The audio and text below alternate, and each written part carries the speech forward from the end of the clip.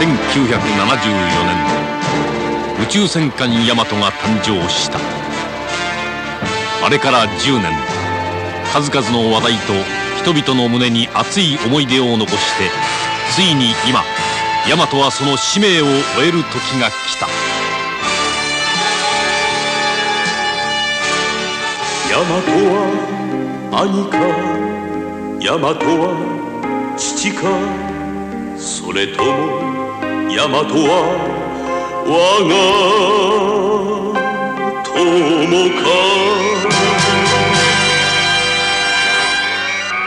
兄なら時には手を挙げて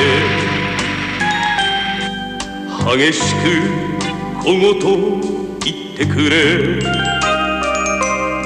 父なら大きな胸板を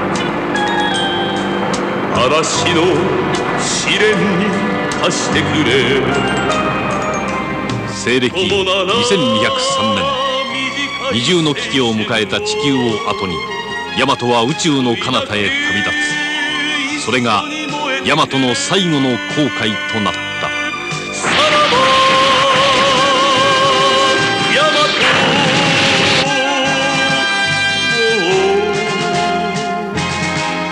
彼だ。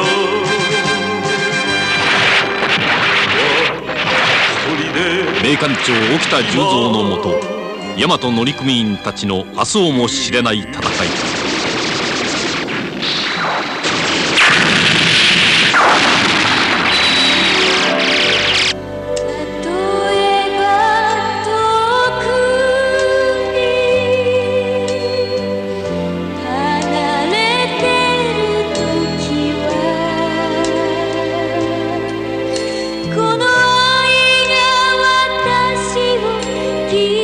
と共に成長してきた古代進と森行の心打たれる詩順の愛。